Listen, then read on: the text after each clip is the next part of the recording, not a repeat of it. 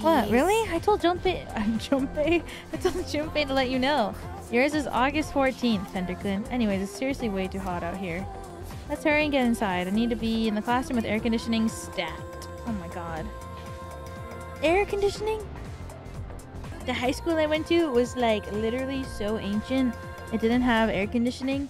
And then the school was like, okay, guys, we're gonna try to install air conditioning over summer break. And then the people came to my school to try to install the air conditioning, and they were like, the school is too old to install air conditioning. So we didn't have air conditioning in the school. And when I would go to school, I would feel like I was dying.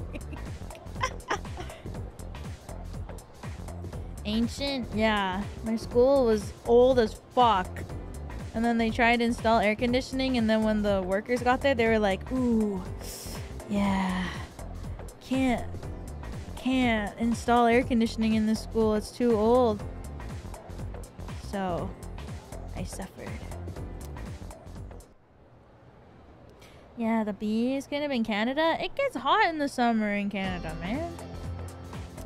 Don't make me read. I'm running through the meadow. Flowers that speak